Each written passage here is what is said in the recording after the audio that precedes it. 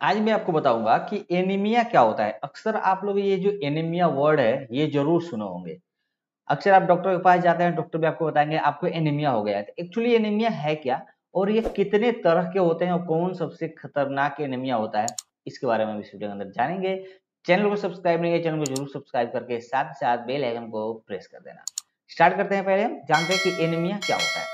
तो कोई भी कारण जिसकी वजह से आपके रक्त में लाल रक्त कोशिका, यानी कि आरबीसी की कमी होती है, वह एनीमिया कहलाता है। रीजन कोई भी हो, अगर शरीर में आरबीसी की संख्या कम हो रही है तो मतलब आपको एनीमिया है, ठीक? कभी कभी यह किसी गंभीर गंभीर छिपी हुई बीमारी का भी चेतावनी दे सकता है। एनीमिया जो होता है, शरीर में अगर खून की कमी हो रहा है, कोई ना कोई गंभीर बीमारी ज़रूर हो सकती है आपको। एनीमिया से ग्रसित व्यक्तियों को अक्सर ठंड लगती है, या शरीर में कमज़ोरी और ऊर्जा की कमी महसूस होती है। जब भी आप देखो कोई व्यक्ति अगर एनीमिया है एनीमिया में क्या होता है, कमज़ोरी महसूस होती है, कमज़ोर हो जाता है व्यक्ति और ठंड लगना या बार बार बीमार पड़ना ये चालू हो जाता है तो इसको हम एनीमिया बोलते हैं। अब एनीमिया के कुछ सामान्य कारण भी है, जैसे कि महिलाओं में गर्भ अवस्था के समय खून की कमी होने के कारण एनीमिया होने का खतरा होता है। कि जब भी अगर कोई भी महिला अगर गर्भावस्था में है तो उसके शरीर में खून की कमी हो जाती है, क्योंकि जो उसके बेबी होते हैं, उस बेबी को भी ब्लड की ज़रूरत पड़ती है, जो कि माता से ही मिलता है उसको तो इस अवस्था में जो मदर होती है वह एनिमिक हो जाती है। वृद्धावस्था में क्रोनिक बीमारियों का खतरा अधिक होता है, जो आगे चलकर एनीमिया के कारण बन सकता है। जब भी आदमी धीरे धीरे अगर वृद्धावस्था की तरफ़ जाता है तो ऑटोमेटिक आदमी कोई ना कोई बीमारी हो ही जाता है, जिसकी वजह से भी खून की कमी होना चालू हो जाता है।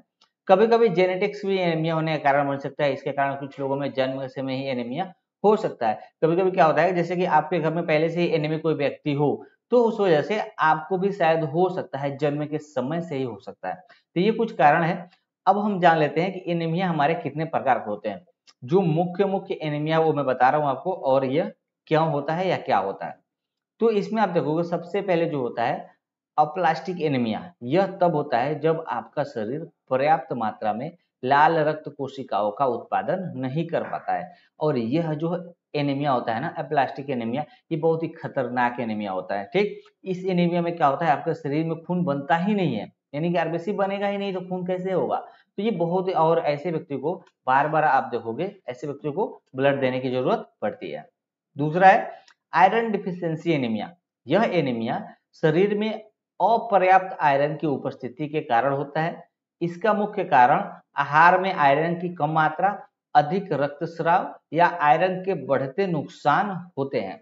जब भी अगर आपको आयरन डिफिशियंसी एनीमिया अगर होता है तो आपको समझना है कि आप क्या कर रहे हो। जो आयरन युक्त भोजन है वो आप नहीं ले रहे हो। शरीर में ज़्यादा अगर ब्लीडिंग कहीं पे हो गया है, उसके वजह से आयरन डिफिशियंसी एनीमिया हो जाता है। सिकल सेल एनीमिया यह एक अनुवांशिक एनीमिया है और माता पिता से बच्चों में स्थानांतरित होता है। इसमें लाल रक्त कोशिकाएँ अपनी संरचना और ऑक्सीजन ले जाने की क्षमता खो देती है। जो सिकल सेल एनीमिया होता है, वो क्या होता है? आप देखो वो सिकल सेल एनीमिया को वह सिकुड़ जाता है आरबीसी सिकल सेल एनीमिया में। और जो हमारा आरबीसी होता है, उसका काम तो ये होता है ना कि ऑक्सीजन को हमारे बॉडी के अंदर पहुंचाना और वहाँ से कार्बन डाइऑक्साइड को बाहर निकालना।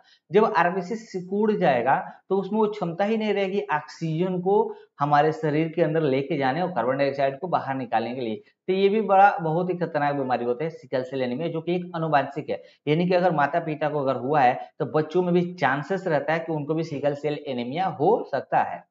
थैलेसीमिया, यह भी एक अनु ये भी एक वंशानुगत स्थिति है, इसमें रक्त में हीमोग्लोबिन के स्तर कम हो जाते हैं तो थैलेसीमिया होता है, और थैलेसीमिया के अक्सर व्यक्ति को आप देखोगे, जो बीटा ट्रेट होते हैं, उसमें आप कैंसर के रूप में भी ये परिवर्तित हो जाते हैं। विटामिन डिफिशियंसी एनीमिया इसका मुख्य कारण शरीर में अपर्याप्त विटामिन बी ट्वेल्व या फोलेट होता है फोलेट होता है ये विटामिन आरबीसी के निर्माण में आवश्यक होता है। जब भी आपके शरीर में विटामिन बी ट्वेल्व या फोलेट एसिड की अगर कमी होती है तो आपको जो देखोगे विटामिन डिफिशियंसी एनीमिया हो जाता है। तो अगर विटामिन डिफिशियंसी एनीमिया से बचना है तो आपको फोलेट एसिड और विटामिन बी ट्वेल्व का जो आहार होता है, उसको आपको भरपूर मात्रा में लेना चाहिए।